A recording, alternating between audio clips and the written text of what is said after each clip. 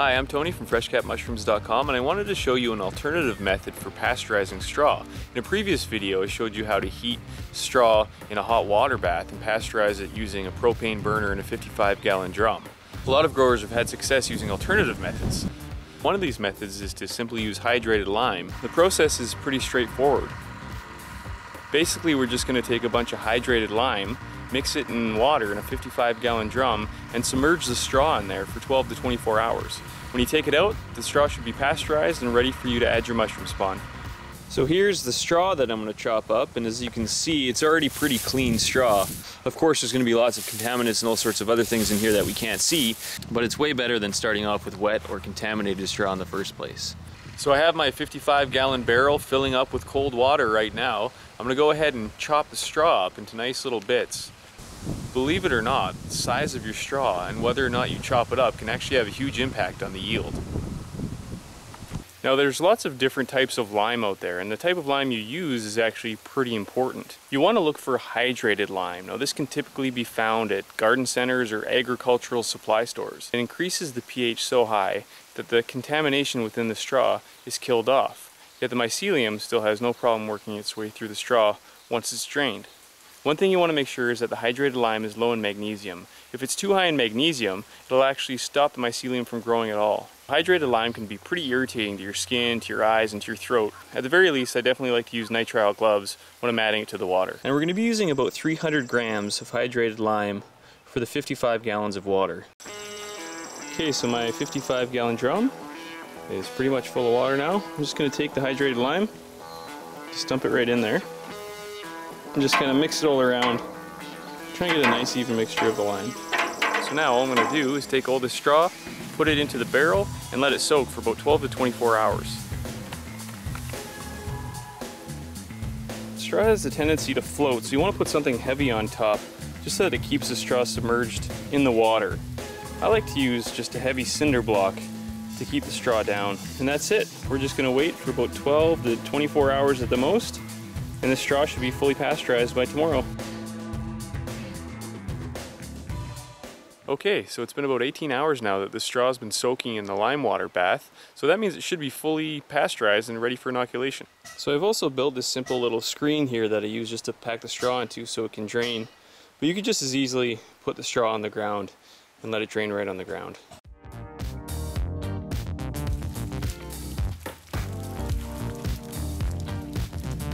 Pretty much all I'm going to do is stack layers of straw and spawn in these uh, bags of poly tubing that I've tied off at the end there. So I'm to use about 5 pounds of spawn per log and end up with a log that weighs about 25 to 30 pounds. First I want to make sure that the spawn's broken up really well. You can see it's really well consolidated down here so we want to break it up into individual kernels.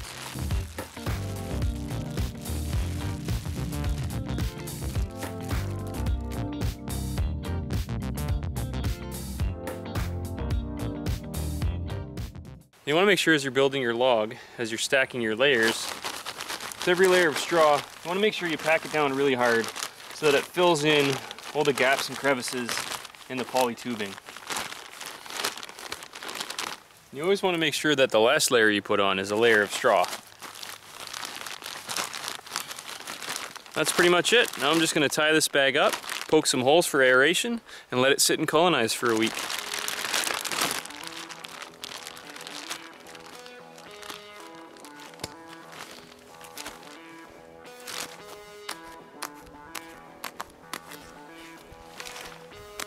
So since the straw was still pretty wet when we made the log, you want to make sure you put some holes on the bottom of the log just so it can drain over the next few days as it's colonizing. So that's it. Now I'm just going to take this log inside into a little bit of a cooler environment and let it colonize over the next seven days. By that time it should be fully colonized and I'm actually going to take it outside to fruit it. So I'm just going to leave the straw log here colonizing for about a week or so. As you can see there's a couple of dark spots kind of greenish spots on the log.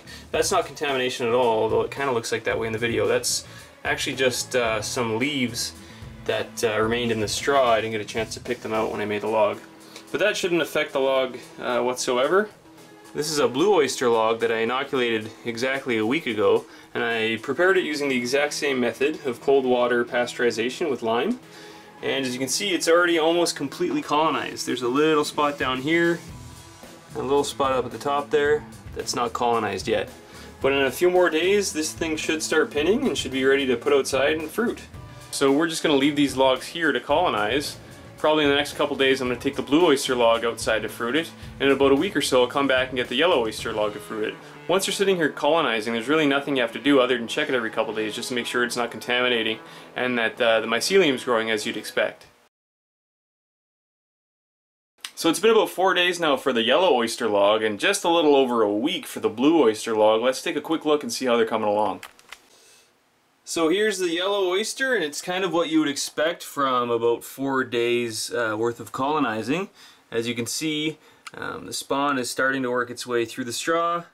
Um, some places a little bit stronger than others. Doesn't always show up great the video. Again, this isn't contamination, that's just a leaf that uh, happened to be in the straw when I packed the bag. Now here, if you look at the blue oyster log, this was made about 11 days ago. And as you can see, we got lots of pins.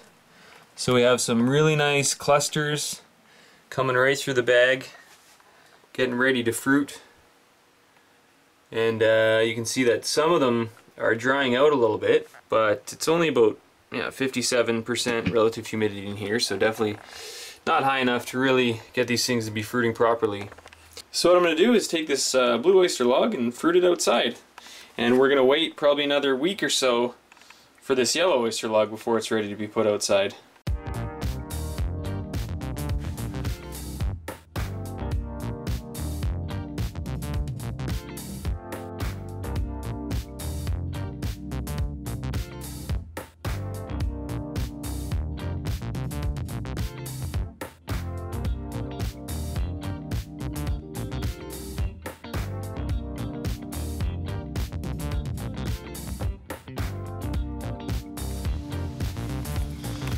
Okay, so I got my two logs hanging now.